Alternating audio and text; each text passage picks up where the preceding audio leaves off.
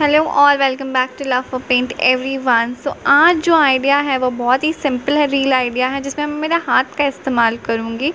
सो so, मैं चुटकी बजाऊँगी and then हमारा जो पेंटिंग है वो आ जाएगा। तो लेट्स सी कैसा लगता है।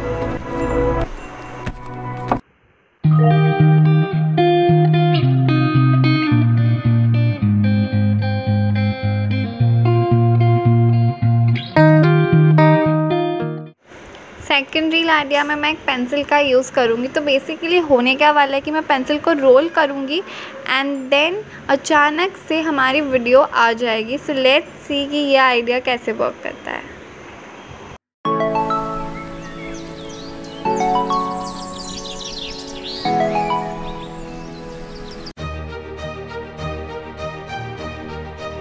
Comment down and keep supporting meet you in the next one.